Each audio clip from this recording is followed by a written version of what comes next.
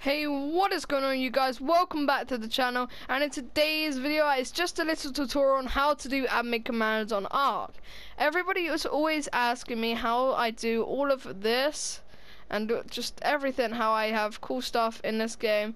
Uh, so I'm just, you know, pretty much, I'm like, it's kind of hard to explain, you know? So, um, yeah, let's get right into the video.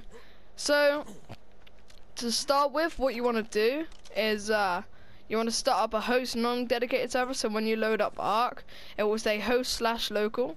Make sure you click on that and you will go to like the private match section.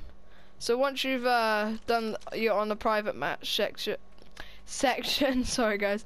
Once you're on the uh, private match section make sure you go onto host non-dedicated session. And then when you load up like I already have it up here but I'll show you what you have to do. This bar will pop up once on PS4, when you load in, you you will have to press L1, R1, square and triangle at the same time to get this bar up.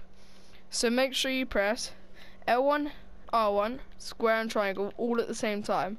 And then you'll get admin commands that you can press God, you can get God mode, you can get infinite stats, so unlimited ammo.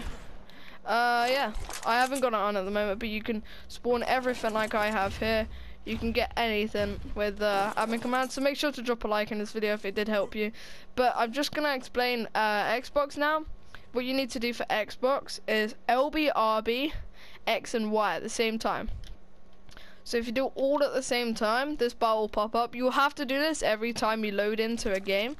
But it only works on private match unless you're the admin of an online server. But that's pretty hard to get unless you got a friend as a creator of a, creator of a server.